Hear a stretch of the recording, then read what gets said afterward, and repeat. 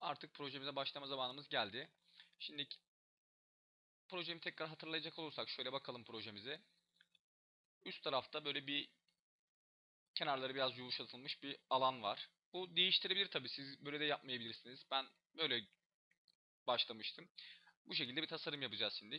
Şimdi bunu yapabilmek için hangi şekilde yapıyoruz? Photoshop'taki sol ara, sol taraftaki araçlar menüsünü kullanıyoruz. Windows'dan Tools diyerek bu menüyü açıp kapatabilirsiniz. Option dediğimizde de şu alan açılıp kapanıyor. Buradaki Shape aracının en üstünde Rectangle Tool varsayılan değeri. Rounded Rectangle Tool'a geliyorum ve şuradaki turkuaz renkli çizgilerde guide'larımız oluyor. Guide'larımız bize kılavuzluk edecektir. Bunları View menüsünden Show Guide diyerek kapatabiliriz ama tavsiye ederim olmasını veya hızlıca gizlemek için de Ctrl H tuşuna yani Hatay'ın H tuşuna basıyoruz. Hızlıca gizleyebiliyoruz bunları.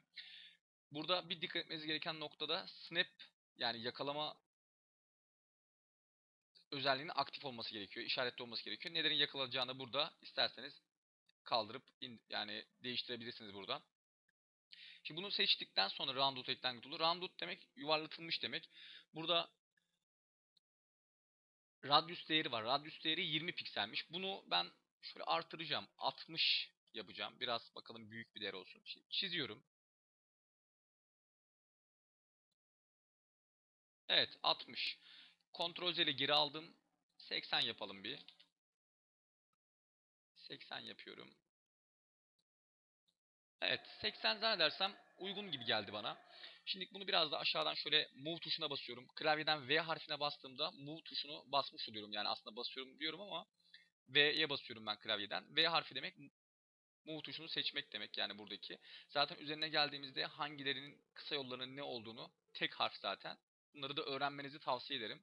Oldukça hızlandıracaktır Photoshop kullanırken sizi. Şimdi bunu biraz daha move tuşuyla aşağı atıyorum. Aşağı kaydırırken shift'e basarsanız yana doğru gitmeyecektir. Dikeyde hareket edecektir. Yana kaydıramayacaksınızdır. Doğrusal olarak aşağı doğru inecektir. Şöyle biraz daha indiriyorum. Bunun rengini çift tıklayarak beyaz yapıyorum. Ctrl H ile guide'larımızı gizleyelim.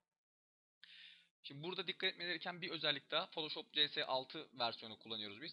Burada CS6'da shape'ler bu şekilde gözüküyor. Sizi yanıltmasın. Siz 5 veya 5.5 kullanıyorsanız veya 4 kullanıyorsanız orada yanda bir alan çıkabilir sizde. Şaşırmayın o yüzden. Şimdi burada rengini istersek başta biraz koyu yapalım. Sonra değiştiririz. Görmeniz açısından beyaz gözünüzü alabilir belki ilk etapta.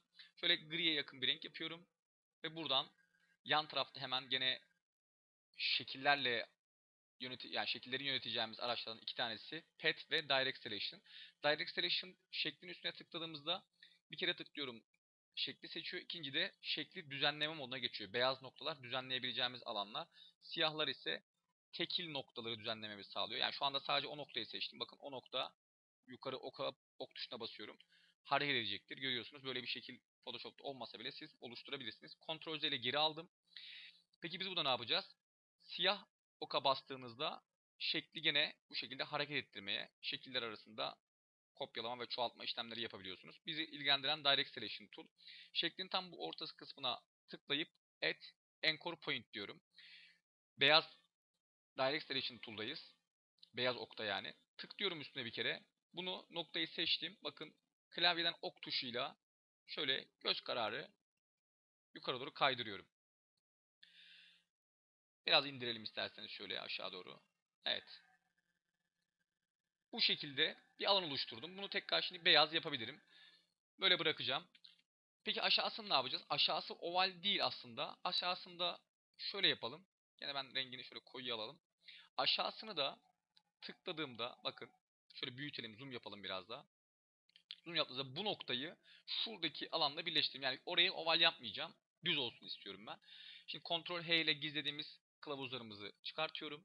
Ve bu noktayı şu şekilde bakın buradaki snap tuşuna basarak. Burada shift'e basarsanız kesinlikle kaymayacaktır. Tam o noktaya yakaladım. Şimdi buradaki noktasını şu çıkıntısını tutarak da onu da buraya ile birleştiriyorum. Bakın artık orası düz bir şekil oldu. Aynı şekilde space'e basılı tutarak yan tarafa geçiyorum. Bu noktaya tıkladım. Bunu geliyorum buraya shift'e basılı tutarak bakın az bile kayma oluyor. Shift'e bastığımda doğrusu olarak geliyor. Bıraktım. Yine bu noktadan tutarak bunu bu şekilde buraya yuvarlaklığı giderdim.